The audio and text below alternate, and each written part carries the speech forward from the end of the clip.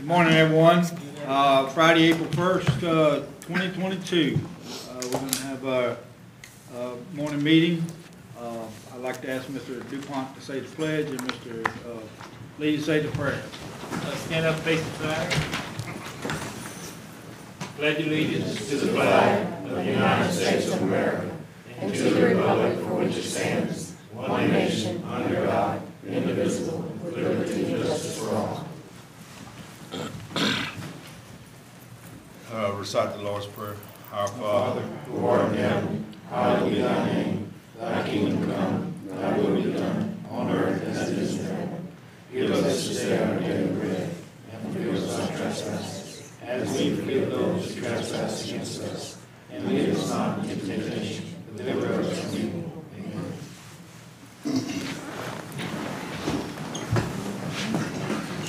Thank you both. First of all, I'd like to ask everybody to please silence your phones.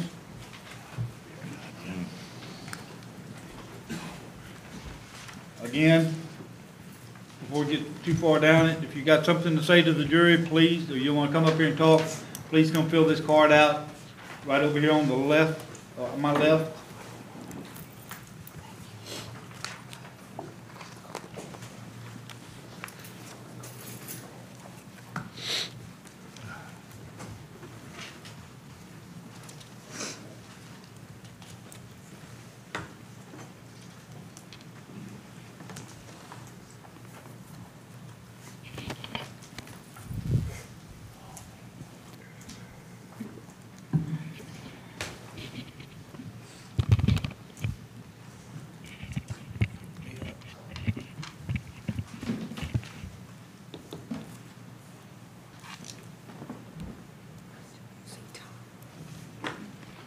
Okay, we'll uh, go to um, item number three.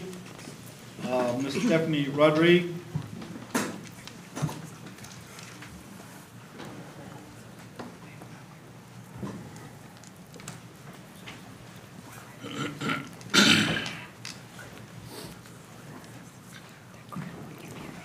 Good morning. As you're aware, one of the components of the Fur and Wildlife Festival is the crowning of both a fur queen and Miss Cameron Parish. Our Louisiana Fur and Wildlife Festival queen represents the festival at fairs and festivals throughout the state during her reign. Um, With me today is Talisha Bertrand, who is the president of the Fur Festival, but she is also the director of the Miss Cameron pageant, which is also a component of the Fur Festival. But what, I wanted you to know today is that Miss Cameron Parish is actually the ambassador of Cameron Parish, not only at fairs and festivals, but this particular year with the particular young lady who's uh, was um, selected to serve in this capacity. She has some other activities that she does throughout the state. So she'll have the opportunity to, and has already been representing us on multiple platforms. So I thought it was important for you to know that you do have an ambassador to the parish, and we have a, a rather unique, and uh, we're very fortunate to have the ambassador that we do this year. And that's Miss Cecily Oliver. Cecily is a senior at Kinder High School, but she's going to tell you her connection to Cameron Parish and a little bit about what she's doing, not only throughout the state, but she's also traveled to Washington, D.C. on behalf of rural communities. Good morning. I want to start off by saying thank y'all so much for having me today, and it's been a wonderful opportunity to be here and be able to tell y'all a little bit of my roles this year as Miss Cameron Parish and what I plan to do and my goal for Cameron Parish this year. So as Miss Stephanie said, I am a senior at Kinder High School. That's not in Cameron Parish, and a lot of people's big question is, so how do you represent Cameron Parish?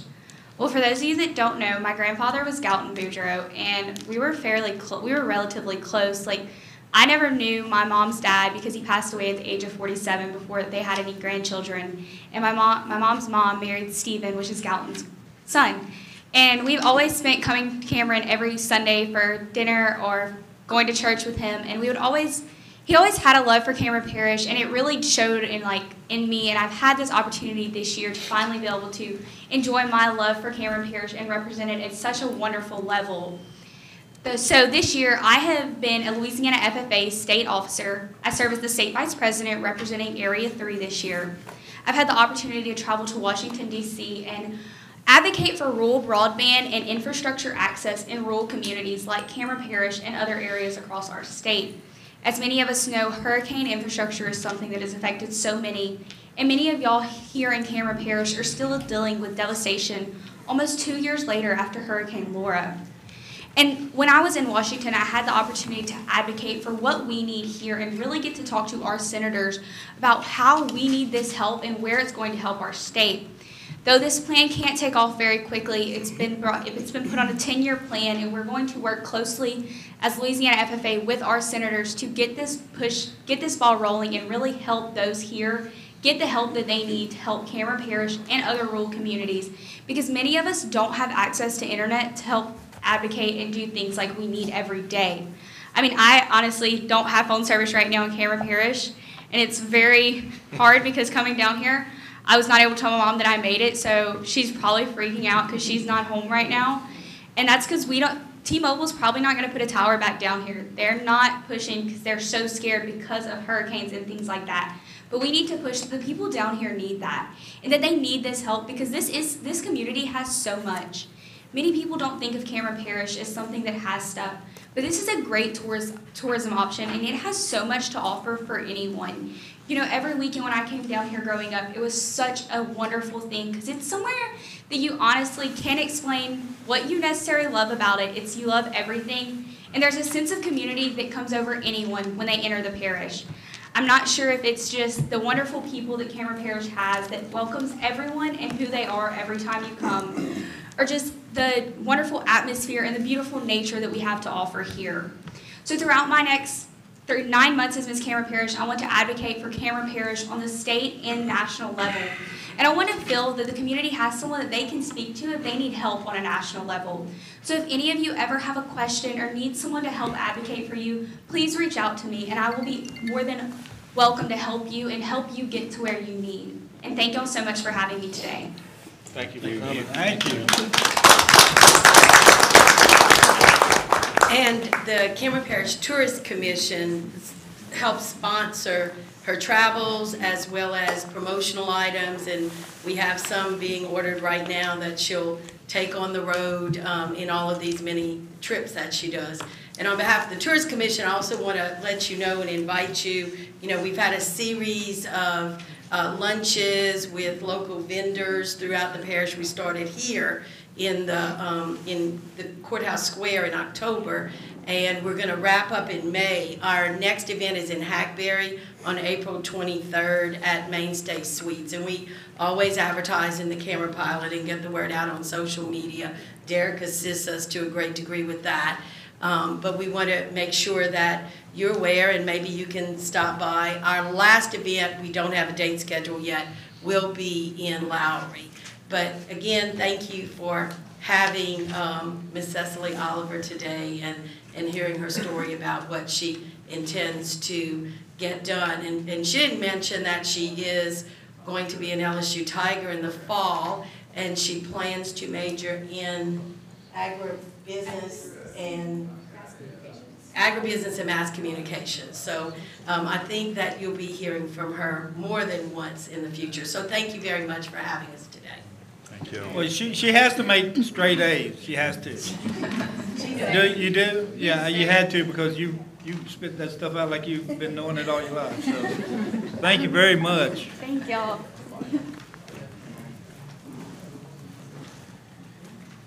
Okay, um, we're gonna, uh, discuss district boundary maps for the parish entities. Um, who wants to get this started? Katie? Is Kristen in there? Yeah, she's here. Kristen's here. You want to tell them why we would like to have some, uh, district boundaries, maps, please, The ma'am? maps. I don't, I don't know. You only got two minutes, Kurt- uh, Kristen. I'm sorry. That's okay. Oh, well. But the reason that we're asking for this is because when an election comes up for a taxing district to renew or even a new tax, the maps that we have are very old.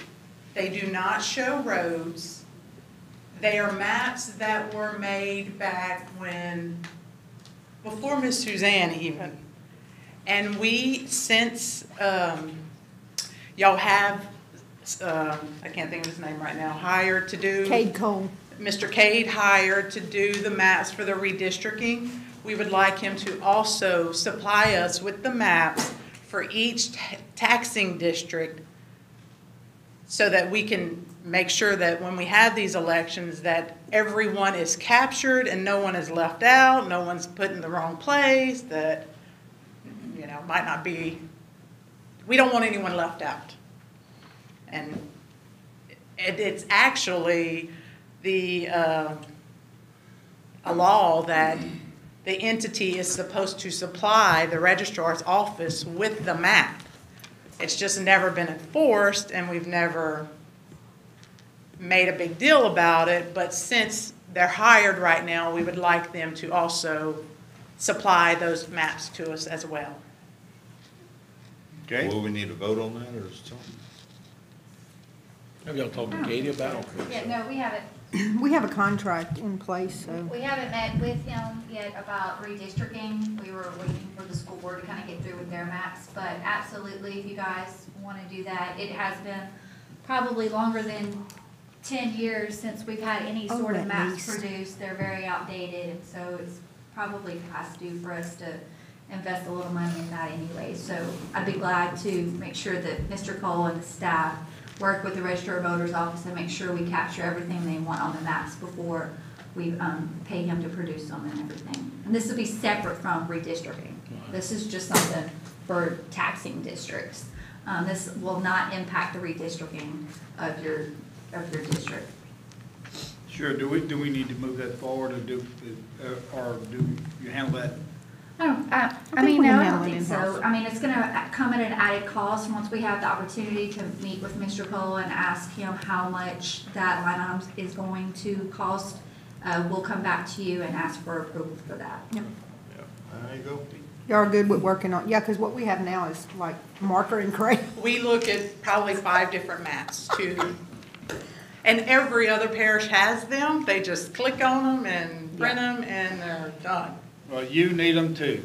Yes, we would uh, like them very much. Mr. President, I, I got a question for her Yes, too. sir. Have, you want the boundaries for taxpayers. Anyway, how do y'all go about all the voters in the parish if they still live in the parish? Okay, so say if we get any kind of mail returned or a subpoena, if they are subpoenaed for jury duty and that is returned, the clerk sends that to us. That voter is put inactive and a address confirmation card is mailed to them. If it comes back, then that is two types of correspondence that has been returned. So they are inactive. If they don't send back their address confirmation cards confirming that they, they live there, they are left inactive. And after a federal election, they fall off if they do nothing. That is how, that is our only way. And if we, and another thing, say we do get another address from someone, we do check to see if they are homestead at that address. And if they are, we do send them a homestead challenge. Okay, so y'all don't actually go out and look at these addresses where people say they live and they hadn't been living here for the last two or three years or 10 years? No, sir. Okay. I mean, we can't pull them unless we get something to say they're not there. Okay. Well, I mean, the census numbers and the voters' numbers don't match up, so that's kind of where, Yeah, they never do. I, I understand that. No. Okay, thank you. You're welcome. Thank you. And, and also this, this document we have from, uh, the state treasurer is, is saying Cameron Parish has fifty-three hundred and forty-three, uh, occupants, Population. population. And We're pretty sure that's not right. We have fifty-five hundred registered voters, I believe. Now, that's, that includes inactive and active. And like I said, it's a process. You can't just remove people. You have to let the, Sure. Right. And, and like I said, we do take the extra step. If we get an address from them, say they request a ballot at an address in another parish, we do pull a homestead if we can. Now, we can't pull them in every parish. Right. I did have one last week that I tried. They had just registered and they put their mailing address as another parish, but that, that assessor's website doesn't supply you with a homestead exemption. Oh. So, so real quick, uh, for, for a registered voter, do they have to have a domicile? Or do they just have to own They have to property be and be homestead registered in in our only one parish. parish? They have to be homestead, so they have to have a domicile. Mm-hmm. Okay. You know what you gotta do. It can't be Domicile. homestead in another parish. Yeah, domicile in their name. And now, if it's, if they are in Texas, there's, there's no way of knowing that. They could be a renter also, I mean, they did, but. Yeah, you can be a renter. Yeah, if you don't have a homestead, you don't have a homestead. You know, you, you think about kids who just move out and are renting, you know, they don't. They can keep their homestead at their parents. All right. Any more questions? That's it, thank you. Thank y'all. Thank you, ma'am. Okay, we'll move on to the green cards. Uh, Mr. Craig Broussard.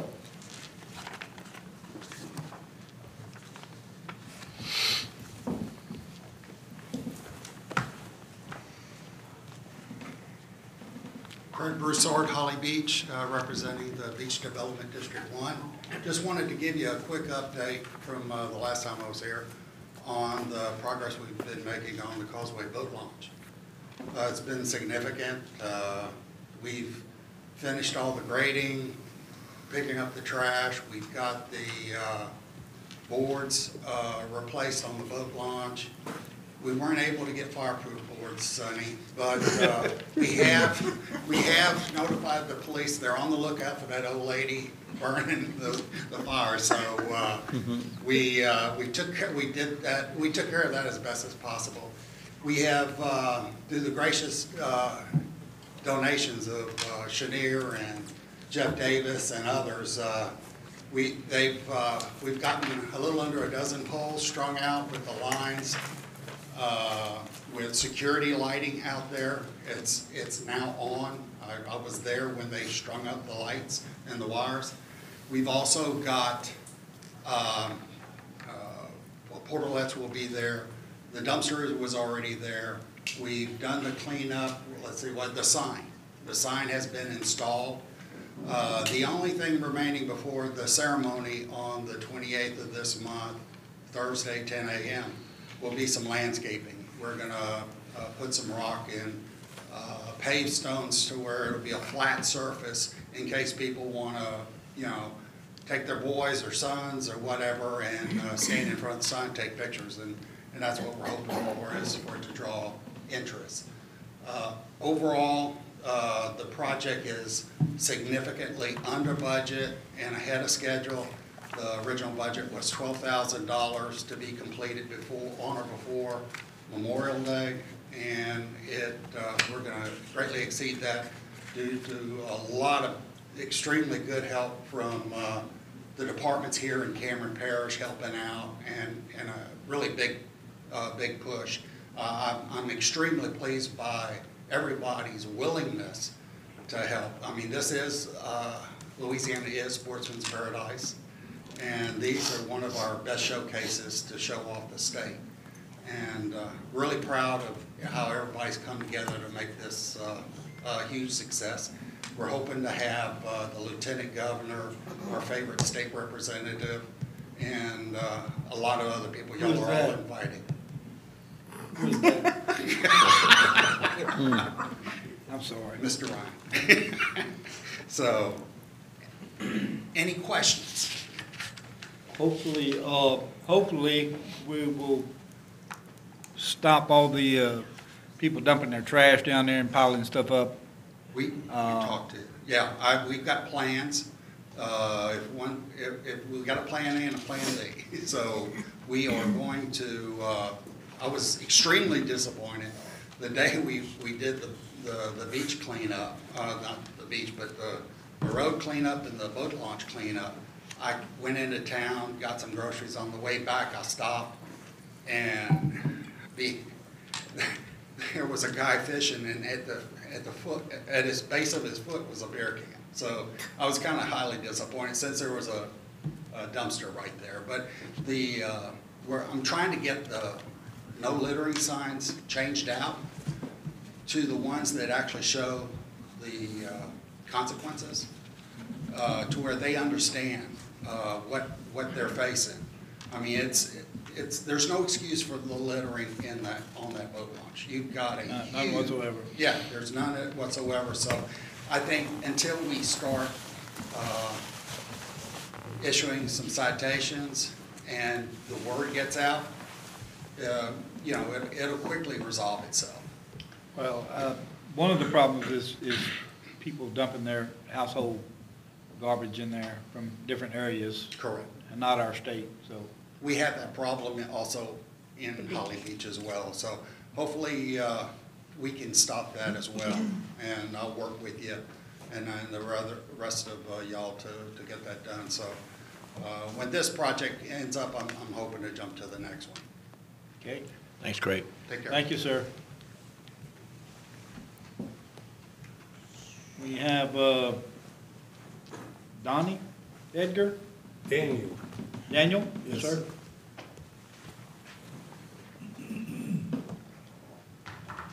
Mr. Chairman, members of the council, thank you for giving me the opportunity to talk to you this morning. You guys own a tract of land, it's .6 acres at uh, Old Crab Lady Landing. Uh, First of all, a little bit about myself. I'm the owner of St. Mary Seafood and Louisiana Bait Products. Uh, At at St. Mary Seafood, I've been in business for 35 years, buying crabs, crawfish, fish. And Louisiana Bait Products, I started that project about nine years ago, uh, supplying pretty much all over the country with bait. And uh, certainly this year is the first time that I ran out of bait in the country, basically. Ran out of bait. It's just a challenge uh, at that company, I just don't have enough freezer storage to hold enough bait to go through the closed season. But, but that's a little bit about myself and what I'd like to do. You guys own a, a small piece of property at Old Crab Lady Landing, and I'd like the opportunity to lease it from you to, you know, to try to buy crabs and whatever I can if the good Lord's willing and I do pretty good, then I'd like to put some kind of facility there, sell bait or whatever I can. Um, But I have talked to one of the neighbor, there's, there's four small, very small tracks right there.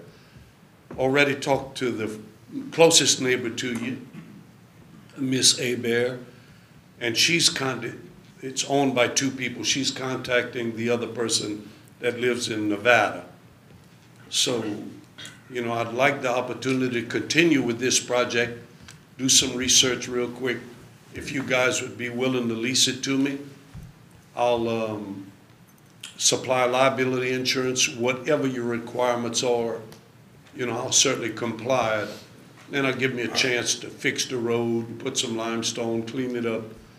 There is a small shed there, the hurricanes knocked the roof off and it's just a post left. But I'd like the opportunity to clean it up and try, if you guys would be willing to let me have it. To start with, ain't you a movie star? Well, I'm a, You're an alligator man? yes, sir, uh, you know, I'm a commercial fisherman from Bayou Blue. That's right. The movie star part. well, Yeah, yeah, well, y- y- yeah. Yes, I- I sir. Watched it many, many times. I just hope I I said, I don't. said, I said earlier, I said, I don't know where I've seen that guy before, But I but know I've that seen guy. him before. Yeah. Yeah. Yes, sir. Shoot 'em. Well, you know, Uh, I hope I don't disappoint our state, you know, representing, you know, my parish and, and the people, you know. Uh, That show's done quite a bit for Louisiana, especially the alligator industry. It's helped us some, and, and I'm fortunate that me and my family's part of it. Yes, sir. Yes, sir. Oh, Somebody That's- want to talk about that? That, uh, piece of property was acquired back, uh, I think for Hurricane Rita, uh, Road Home property. Uh, And I don't have an objection to leasing that, because I don't have, uh, I don't think we have any plans to do anything with it. I don't have a That's problem in Butch, leasing it, yeah, it's, it's in Butch's district. Yeah, Uh, I'm all for it. Thank you. I think we, uh, have you get with our, uh, We can move that forward if you like. Uh, let Katie get with, Katie uh, legal and get a Yeah. lease drawn up and Yeah, once we get, um, we'll get with, like I said, legal and negotiate the terms of the lease with Mr. Daniel, and we'll bring it back to you for authority to sign. That'll There be you go. Great. Thank you. Thank you very much, sir. Mr. Chair, I got, I, I do Yes, have a sir. question for him. Hold Mr. on. Mr. Daniel, Yes, sir. I, I do have a couple questions here. Yes, sir. What, are are you looking at leasing the property adjacent to it, or are you looking at buying the property? Well, I mean, if it's for sale and the price is right, I'll buy it. Okay, But first, I would like the opportunity just to see how much business I get. I Already have some crab fishermen that have, well, they've been for years trying to get me to come over here for years. okay. And finally, I said, look, let me see if I can get a piece of property, I'll come. But, but certainly, you know, I've been at St. Mary Seafood thirty-five years, and my phone number's never changed, owners never changed. Um, If, if, I'd like to get there and get started, and if it looks like I can be successful, I'll make you proud. Trust me. Okay, I'm good. Yes, sir. Thank you. Yes, sir. Thank you very much, sir. Yes, sir. Thank you, Wayne. Okay, I, I- I don't want to be the one to break the record, such a short meeting. Um, does anybody have Katie ain't anything? talked yet. Uh-huh. Katie hasn't talked yet. Uh, That's true, but uh, I do want to say thank you to uh, Johnson Bayou um, Road Crew for the work they done across the the ferry, cleaning up that mess and people are making, that we can't get stopped. Uh, But please pass that on. Sure will. Yeah, and uh, not only that, but the work they're doing in Little Florida, Yes. they're doing a great job. People, the people are very pleased with them. So uh, I'd like to thank them too. Sure will. And also I want to pass on to you that uh, the, the all storage site in Hackberry is fixing to do some, uh, a lot of work, and they're going to be moving a lot of cement, and hopefully that'll be a- another additive to your project down there. So, And I'm talking to them now, so we'll, we'll see. Okay? Uh, See, we're cutting grass already, ditches, Yes, sir. or we're gonna spray them, We ain't got a spray truck. Or we're gonna buy one. If we can buy them one to bid on. I mean, I'd be, uh, you know, I I think. Yeah, I we'll try checked, I to- talked to one company, uh, but he I said. know everything's expensive and the And price then of to fuel get a is really truck, he don't expensive. furnish a truck, so it's gonna take a while to get a truck, so it probably won't be till next summer. Well- We just have to push on. What's wrong with the one we have now? We lost it for the storm. It was inside the Oh. barn. Okay. It wouldn't be cheaper to buy one on, uh, a spare rig on the trailer and use one of our trucks to pull it? Because you can get, a you can get an awful large straight spray rig. I can check on it. I'll check on I like check because, I mean, it's, it it uh, holds up a lot longer than cutting grass every two weeks. yeah, I mean, uh, them spray rigs are, are, are, uh, very expensive and very No. tedious. Yeah, we went to Calcasieu and looked at theirs, and then Susie and them went where they build them and looked at them. Just can't get one. I'm just, he said it's gonna be a while. I'll be in line. Stay in line and keep the grass cut. I guess that's the Yeah. o- I'll holler at object him of again it. and see what's the timeline now. Thank you. I have a question with that. I do have something else I'd like to talk about before Okay. Katie starts. We had an issue uh, at home with a a ambulance placing. And uh, we don't have, it's not public policy, we don't have a zoning ordinance in this parish But anytime we site, move, build a new uh, public building, I'd like to make it a policy that we contact uh, uh, surrounding uh, homeowners so that they have the opportunity to say yay or nay. Now, it's not saying it because one person says no, it doesn't happen, but it gives everybody a chance to voice their opinion and be heard. And uh, that's all most people want anyway. So uh, is, is, is there a way to get that in there? Uh, Maybe we have to ask Tom, I don't know. Is there a way to get that in there without zoning? Tom? Uh, Yeah, I didn't know you were asking Katie or asking me. It's like a deer in the headlights. Yeah, yeah, I know. Policy's fine. Um, w- Sure, notice to the surrounding, you know, uh, property owners in the event that, you know, the parish or a board is going to purchase property. Uh, We may need to, it'd be case by case on, you know, in our parish, what surrounding neighbors means. And, You know, in some cases, they may be uh, fifty feet or, you know, or a quarter of a mile. Um, But, but I think making the board aware of contacting people in, in the, in the area, uh, is, is a good start, yeah. Now, let me ask you another question. Again, I know- I know we're not zoned, but it brought up something else to me. So suppose somebody wanted to come in here and build a hog farm, or, I'm just using that as a, uh, uh, uh, if they wanted to come next to the school, for example. I mean, is there any way without zoning to, to be able to, to, Not really.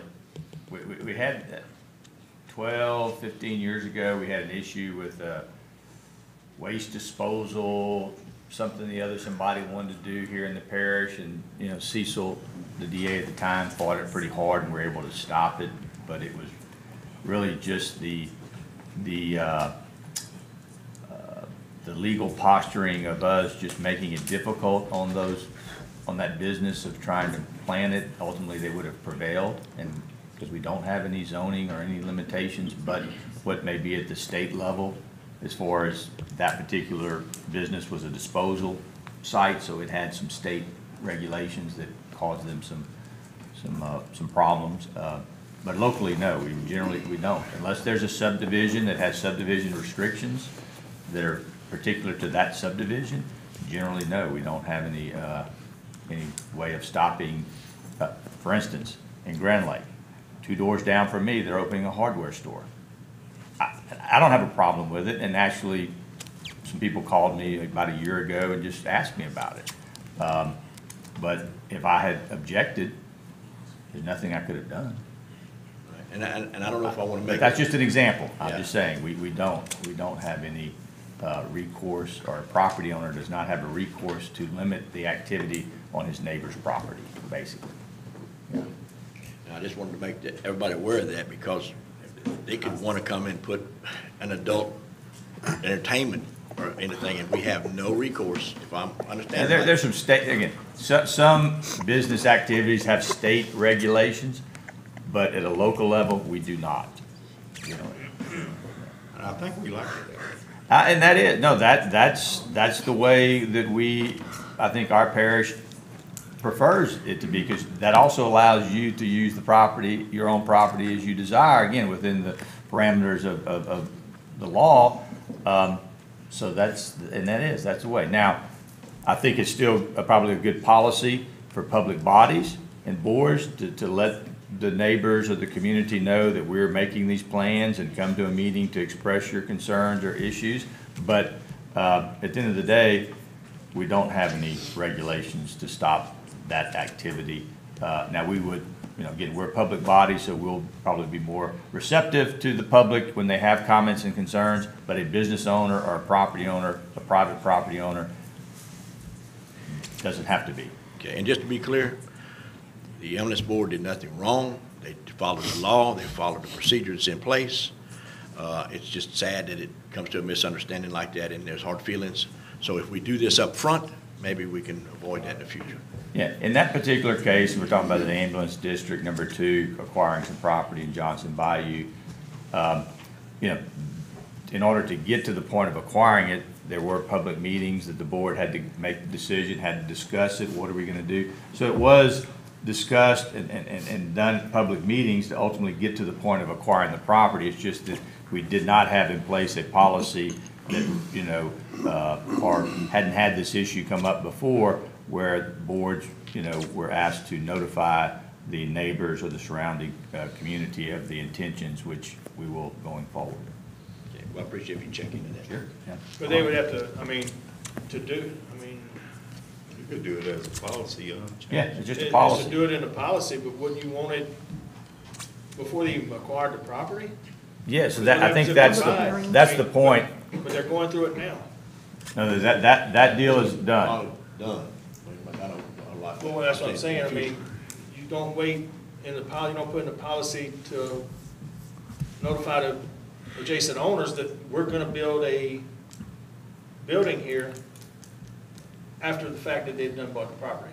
No, that, that's, I think that's the point that Sonny's making, is that the board would notify the, the property owners in advance, saying, these are our intentions, these are our Right. plans, please come to the meeting and talk to us about it before we acquire the property, before we build something. They something. don't do none of that now, they just acquire a pro- a property, they don't talk about acquiring it with, uh. They have no, they have no. No, that, it- Rules it- that say no, they have that- there's no policy procedure or, or rule of law that says a public entity has to notify the surrounding Okay. neighbors or, or, or property owners of their, uh, intention with the to, uh, build- to buy or, or build of something. Use of property. Yeah. We, we- you know, th- this ambulance district has acquired already two, pro- one in Grand Lake and one in Big Lake, because those, their structures were destroyed up there, so they've already acquired it. And again, and both of them are on residential streets. Uh, And again, where they went through the process, but there was no policy in place or legal requirement to notify the property owners. Um, But now we will, we will implement that policy. That- Thanks, that's all I All got. Anybody else want to go to staff? Katie? I promise to be brief. I just wanted to um, touch on the election that we are asking you to call today on our voting meeting. Um, We talked about it last month, but I just kind of wanted to go in just maybe a little bit more detail.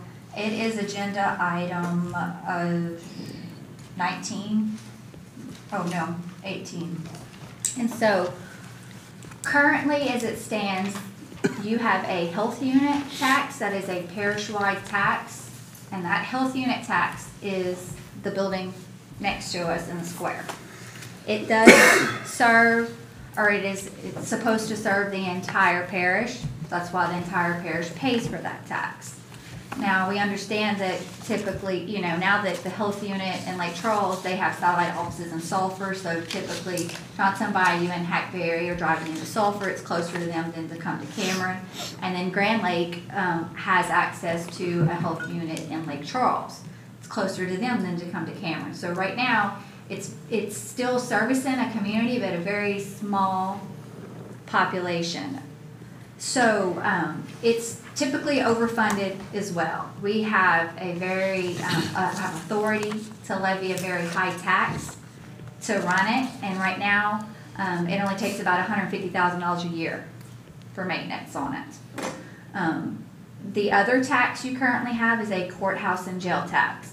And when that tax was passed, it's parish-wide, everybody in the parish pays for it, and it goes only to maintain the courthouse and the jail. That is the only thing you can use it for.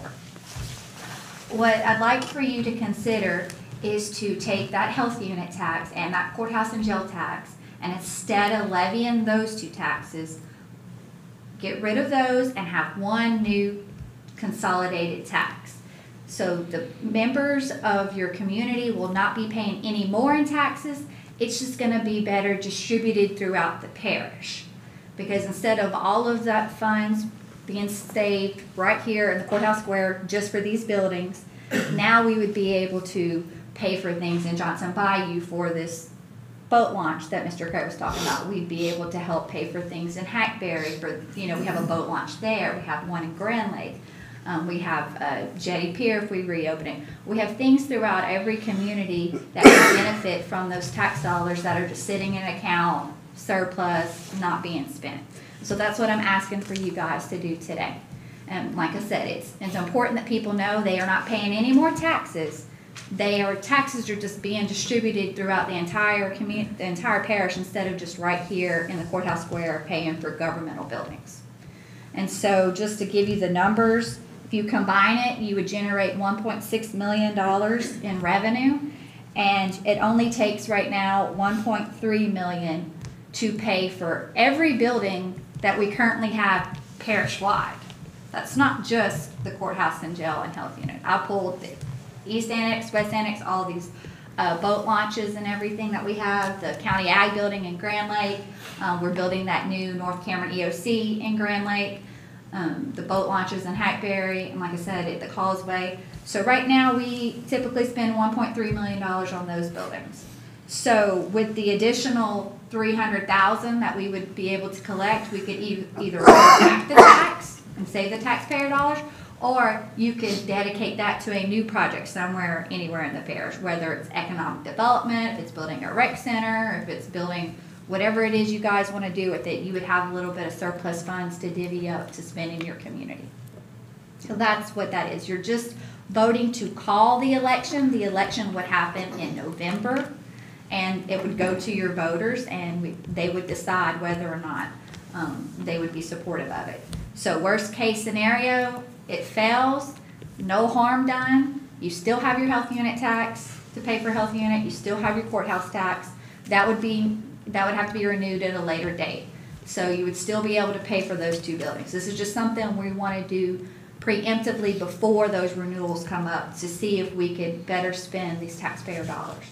So where does all the money come from now for the boat launches and the stuff that Our you're general adding? fund It comes out of general fund. comes out of our general fund. So So if we combined these two taxes for maintenance, parish-wide, for all this other stuff, and it's saving three hundred thousand dollars a year, it's actually saving about six hundred thousand, because you take that money out of the general fund. exactly. Yeah.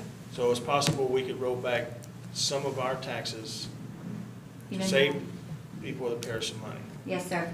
in the event of doing this, Absolutely. of getting it passed. Yes, sir. Okay. I think that'd be a great thing to do, especially combining money that's just sitting in the bank and you can't use it but with- for one building. Right. You can spend it, send it parish-wide The best, uh, and save money. the best thing we can do is to educate the public. Make sure they understand what, what we're trying to do is not trying to hurt and re-tax somebody or do more taxes. We just want to better the, the system of uh, spreading out the money in different areas. Yes, sir. It's, it's just tax reform. It's not new taxes, it's just restructuring. Yeah. And Mr. Kirk's been on me for a long time about town hall meetings, and this is the, the hot topic, and. Two years now, huh? We are going to have that, I promise you, Mr. Kirk, but we wanted to make sure that we had the opportunity to, to do this tax reform so we could make this the leading topic of it. And invite Mr. Bourriaque to come, our state rep, to talk about the Grand Lake Pontoon Bridge Yes, uh, sir. and the ferry. And the fair. ferry. President, if you don't mind, no, the ferry, they need captains, ferry runs, they just some qualified captains to run it, we need that. Uh, roads, that's where that money could be used on, uh, on our roads.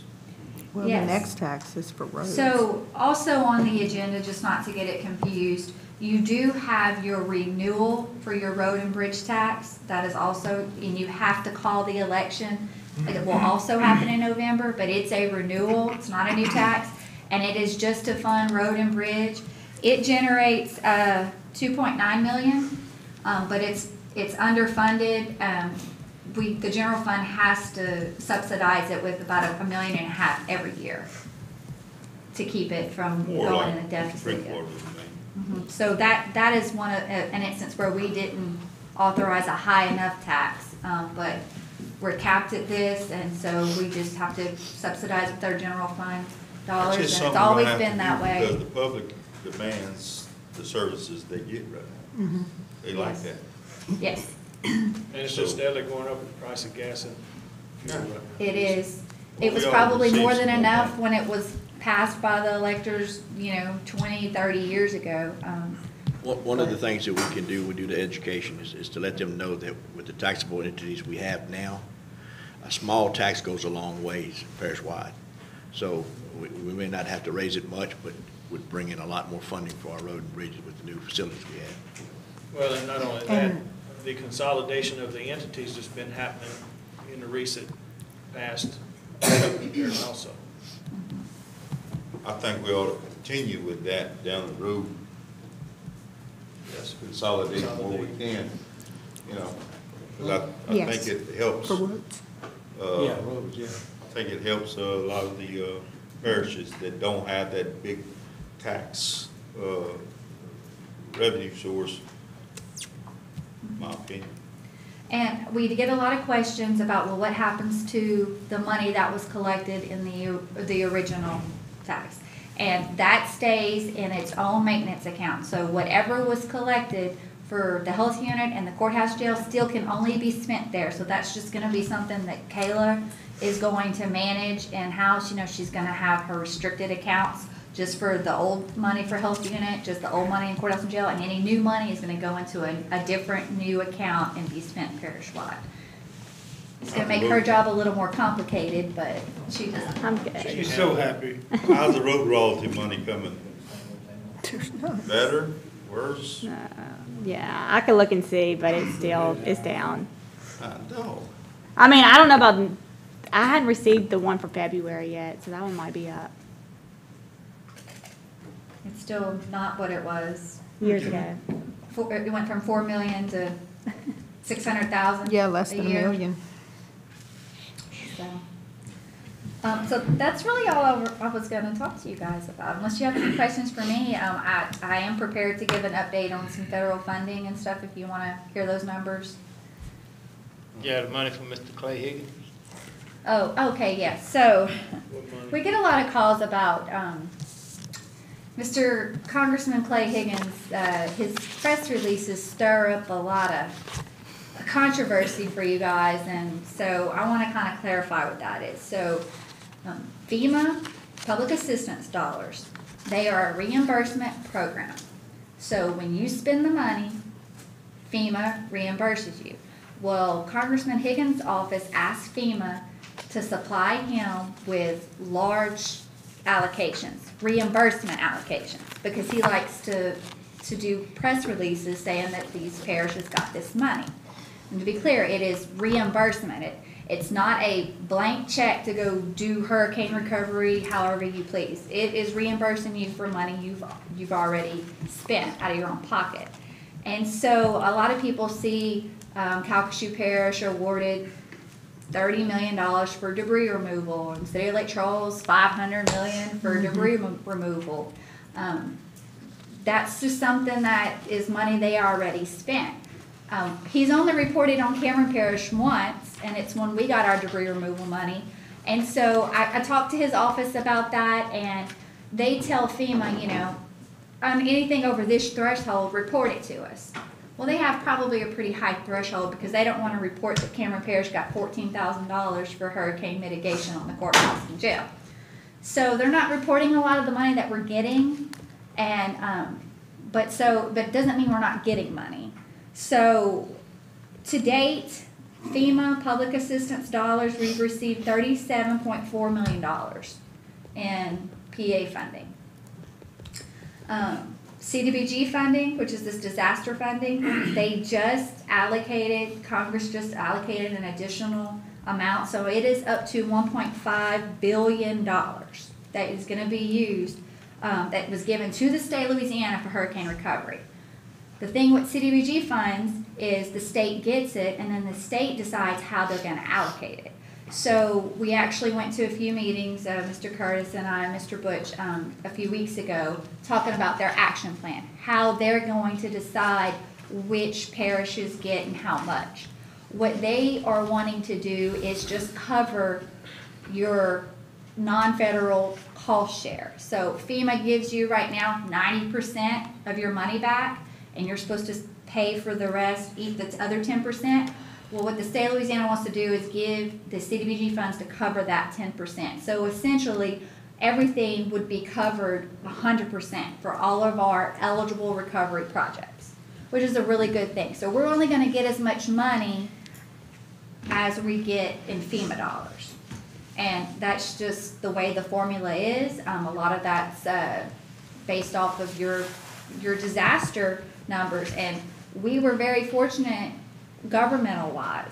We didn't have a lot of damage compared to Calcasieu and City of Lake Charles and even Beauregard Parish. We didn't have as much high dollar, five hundred million dollar damages to our buildings like they did. So we're gonna receive less money just because we weren't damaged as much. We're not claiming for as much FEMA funds.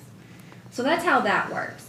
Now, we did get nine point four million dollars of hazard mitigation funds, and that is what you guys allocated directly to elevation and reconstruction projects. So, um, those applications have been submitted to FEMA. Um, the last time we talked to them was in October of twenty twenty-one. I've been working with Congressman Higgins' office, um, for the last three months uh, trying to put pressure on them to see why the applications are stalled at FEMA headquarters. Um, we did get a little bit of headway, um, Hunt and are our, our, management firm, and the problem that's been holding this up is because typically when you get a hazard mitigation grant, it's two to three years after the storm. Well, the state of Louisiana tried to do a really good thing and say, we're not gonna make you wait three years, we're gonna give you the money now. Do your application, get it in, we're gonna give it to you, give it to you now. The hiccup is that all of the um, proof of loss, like all your documentations of your homes that you're gonna elevate, are all damaged because it was two months after the storm. So it's getting called at FEMA headquarters, you have someone in Washington DC looking at a picture of a, a home two months after Hurricane Laura, Laura with a blue tarp and saying, well, we, we're gonna elevate it, who's gonna fix the roof? And that's where it's getting bogged down, and it's not anyone's fault but FEMA's fault right now. Um, so we had a call yesterday. We have another call scheduled, um, supposed to be for next week, and we're going to get Higgins' office involved again to put pressure on them to get these applications processed because now we're 18 months in, coming up on two years, and the money sitting there waiting for FEMA to approve the application. And there's a lot of homeowners I know that are frustrated. It wasn't supposed to take this long. And we sent out a letter to everyone over the last few weeks saying, look, we didn't forget about you. Your application is at FEMA, being vetted. We're just waiting on them to approve it. Please just be patient. I know um, two years is too long, but we just, we're doing the best we can. And uh, we have to get Higgins involved. He, he's he likes to walk around and, and shout at people, so he's to let him know, and he'll go in there and, and tighten them up. He said, so we'll see.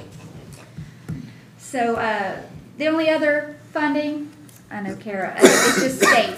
That's all federal dollars. Now we're talking about state dollars. We received three hundred thousand dollars in cash directly from the state of Louisiana.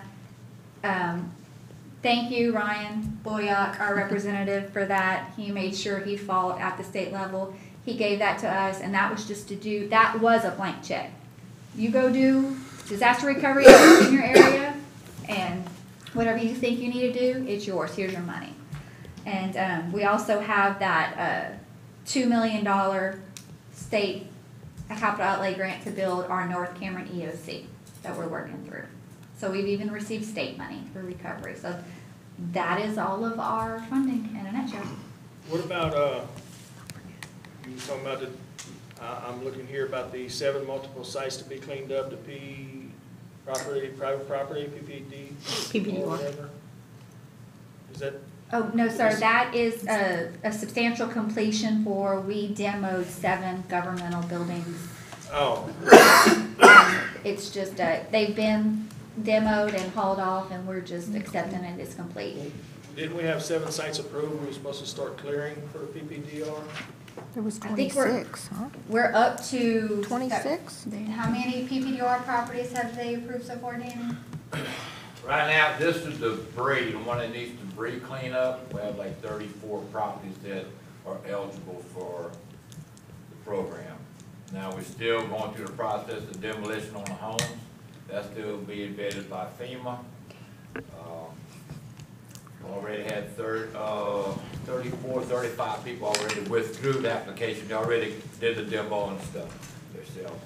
So you know how it is dealing with FEMA, you just have to wait, they're not fast. Uh, we do have other issues where the survivors are not providing all the documentations to complete the process. I got Casey tracking them down five times, three times. I'm at the point, but if you don't wanna get it done, just, we can, we can stop, because we spend a lot of time emailing, and, uh, she goes around to Grand Lake, Hackberry, upload the documents for themselves. So, we are moving forward, it's just not fast enough. And when you're going for federal dollars, you gotta go by their requirements, and, and, you know, the only way to speed it up, is if you decide to forget FEMA and pay for it for yourself. That's the only, uh, option. But So do we- it's real costly, so we're trying to do it where it's, it costs us very little money to get this project done. Right. Do- But do we have altogether, any we'll have under approvals? hundred properties, huh? We Have any approvals to start cleaning yet?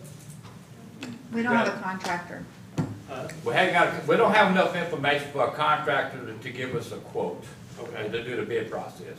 We have the debris cleanups, uh, they're eligible, we know who they are.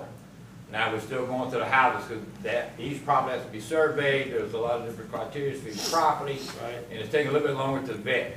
So we started with the debris first, because it's quicker and less moving parts to go with these.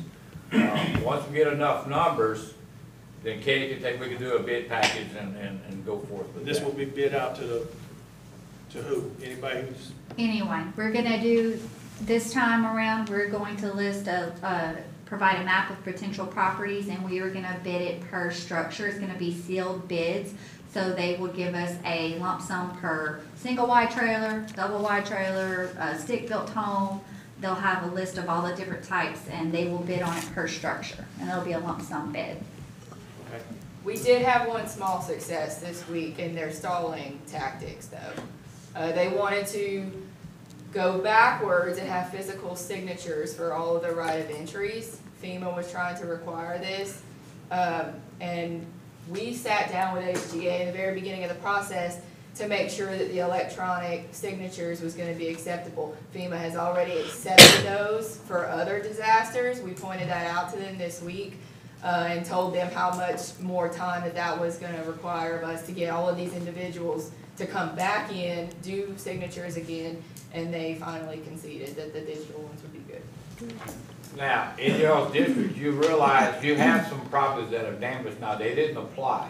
We reached out to, and some of them don't wanna apply for it. Uh, now, the jury, y'all can take action and do, condemnate, you know, condemn the place and so forth, but what you gonna do after that?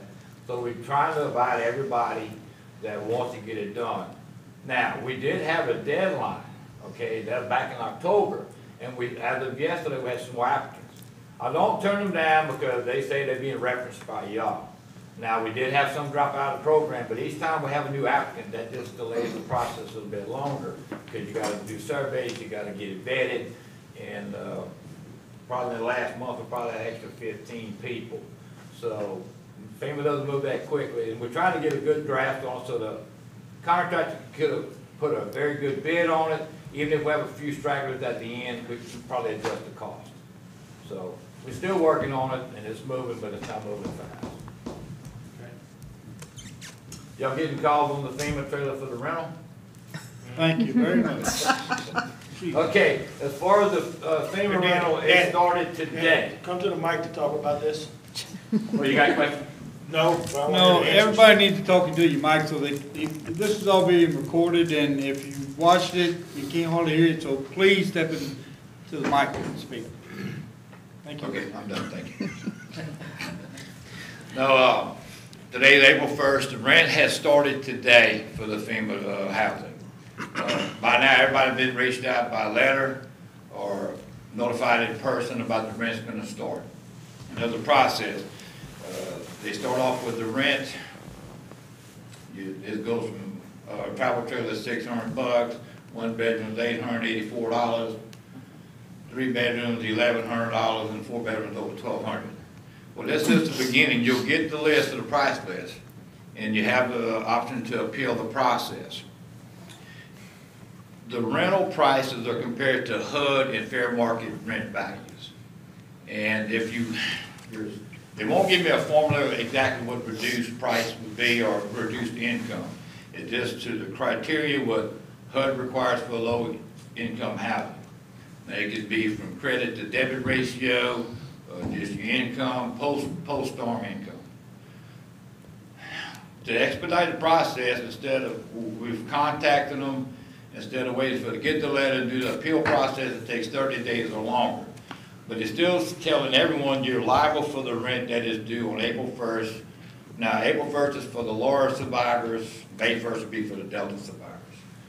So I encourage everybody, you know, they, they said if you can't pay the rent, until you gotta move out. I tell, no, nobody should move out. If you, you know, don't put yourself in a bind. Um, if you can't make the full payment, pay something. I hear it's fifty dollars, just give a little something. Um, to be honest with you, FEMA has no eviction powers, okay? They'll, they'll try to get you through a penalty and tack it on, uh, maybe eventually say you don't qualify for any funding from the federal government if you don't pay this rent money.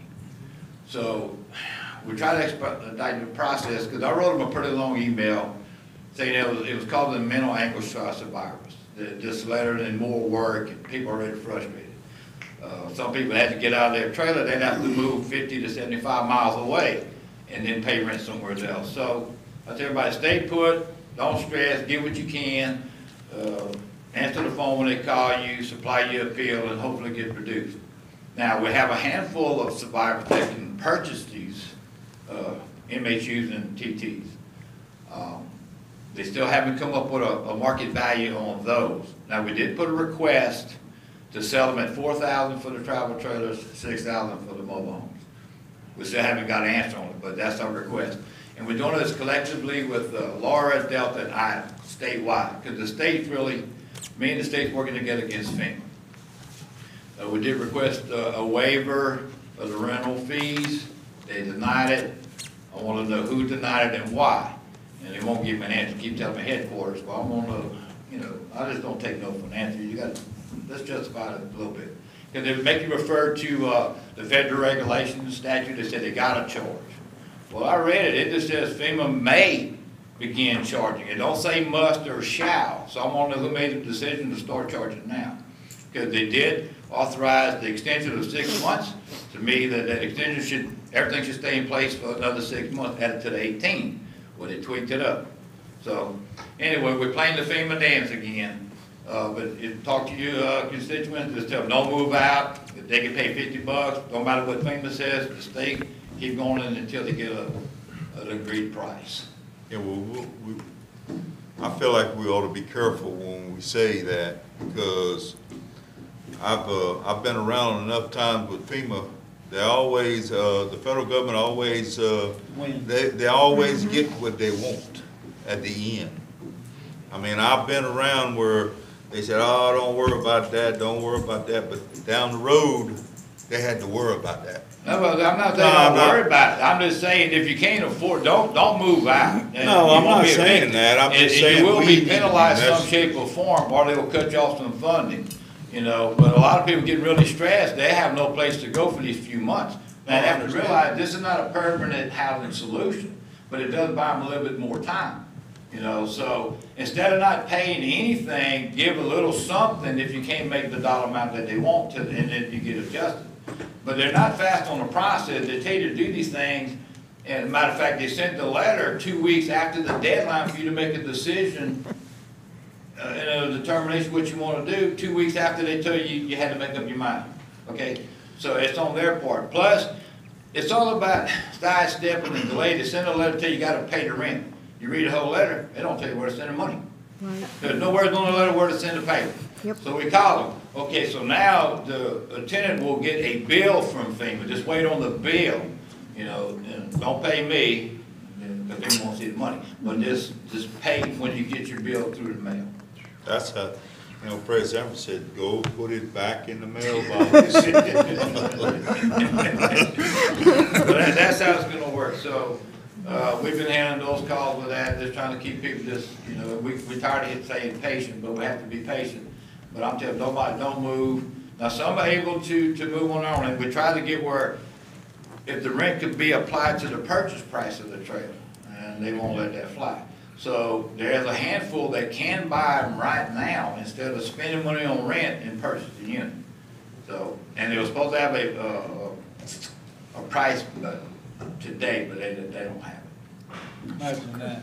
Yeah. You can go buy it, but we don't know what we're gonna charge you yet. Yeah. That's right. You'll get a bill in the mail. Now, with the head of game, the ones that, uh, before you sell it, there's a whole nother checklist you gotta go through, especially the MSU having the special flood hazards on. All right, well, we already of the game. Everybody's elevated, they got their permit. So normally if somebody wants to purchase a trailer, it takes about thirty days. We done expedited half the requirements on that checklist, so it should take maybe two weeks if somebody wants to actually purchase that trailer. Now, there's only, the travel trailers are not gonna be offered for sale anywhere in the flood zone. There's only two in our parish that's in the X zone, they offer to, to sell it to them, but the others, they're gonna pick them up and pull them out, you're not gonna rent those forever. Yeah, they're gonna go park, park them in a pasture and let them rot down. You can buy it for five hundred dollars, let off. Yeah. Okay. Anything else, Kurt? Uh, Wait a little while. I'll call you. Thank you, Danny. Thank you, Dan. Katie, you have anything else? Um, you do need to review the agenda, but while you do, I'd like to introduce our newest hire. Uh, Gary, do you mind going to the mic? Uh, Gary Johnson is the first parish engineer in history. I, I know it's taken us a long time to get to this point, but we're really excited about it. And he actually started, um, Sunday when we went toward South Lafourche Levee District to look at their levees and speak with their levee district director. So, um, go ahead and introduce yourself, Gary. I'm Gary Johnson. I've uh, worked with most of y'all over the last 10, 12 years throughout my career. Uh, I really appreciate the opportunity and uh, like to see where we can head with the parish from here. So, uh, if y'all have any questions or anything at this time? Don't leave, because you, you're the first question on the review agenda, for me. Uh, If we're moving into that, anybody else got anything? If we're moving into that, I'm gonna ask you my question. Uh, on permits, B, Apollo Energy, talking about bringing in some mechanical, uh, booms or mechanical, uh, to hold a spill back. Uh, have they cleared that with the drainage boards? I mean, do you know? I'm not familiar yet. Uh, Yeah. I'll get with, uh, I'm just now getting into all the projects. This is actually an emergency use authorization, Right, so I think the work's already been done. okay, so they're doing it after the fact. And the But reason I what was asking- your question, Mr. Sonic? My biggest question was if this is mechanical, they said mechanical. Two mechanical containment. barriers. I wanted to know if that was gonna restrict access, because there's other people that move through that canal besides, uh, Apollo. Oh, okay. So if it's already done, Yeah. uh, the question's moot, but, uh, anyway, I just thought I'd quiz my new engineer, I wanted to check it out. They'll be filling me in on a lot more here shortly. All right. Hold you right under the rug right there. Sorry. All I'm ready for it. That's where I know him from, he worked with our drainage board a lot. So, uh, he, he- he's probably more familiar with the Gamble Daniel Canal than I am. Gotta be careful with him though. He start that, well, I'll let you know in a couple of weeks. Amen. He's in politics now. Two weeks. Okay. Thank you, Gary. Thank you, Gary. Thank you, Gary. Welcome aboard. Welcome. See if you smiling like that next year. Yeah, or next week. Anything else? I have three add-ons, Mr. President. ma'am. Um, the first one's gonna be an appointment for Waterworks District Number Seven. We received, um, a resignation letter from Mr. Guy Murphy. So they wanna appoint Mr. Gabe Lalon to that position for his remainder of term. We have a change order for the pump back here. It's an additional charge of fifty-seven thousand, six hundred and fifty dollars to replace the existing pump with a twenty-four inch low-lift pump. Um, it's gonna be eighteen to twenty weeks for the pump to come in. It was unforeseen when they pulled the other pump, it had pumped in rocks and it all broke up. They broke the shaft or something. And the third one is president authority to sign the cooperative endeavor agreement with the library and the sheriff for the building in Hackberry. That was the old library that the sheriff's department choosing. Library owns the building, the police jury owns the land. And the police jury is gonna continue for the building to be under its blanket policy and bill the sheriff for that amount of money. So we have to be on the cooperative endeavor agreement with Why- The why- situation. Why are we gonna do it that way? Because the, the building right now is below BFE. And in order for him to save some money on insurance of the building, he can leave it under our blanket policy and stay fully covered and just bill him for the amount that we normally pay, instead of him going out and getting new insurance policies and everything. So he's agreed to that, so we're gonna bill him for the insurance, if y'all agree to that. Mr. Tom's working on the cooperative endeavor now. So if y'all want him to carry his own insurance, we can put that in there most definitely. If y'all wanna leave him under the blanket policy and allow us to just bill him for whatever our cost is, we can also do that. I'm good with that. I think everybody's good with it. And that's the only three I have. Okay, the next month, can we have an update on our buildings, especially our uh, maintenance barns, especially the one in Grand Lake? Yes, sir. Where are we at? I did receive the first draft of the construction documents yesterday, actually. I have them, I can print them if you want to take a look at them today before you leave. Okay. Anything else? Anyone else? Okay, we're gonna call this meeting adjourned. We're gonna move into, Take two or three minutes, Five minute break. two or three minutes. yeah, we're going to take two or three minutes for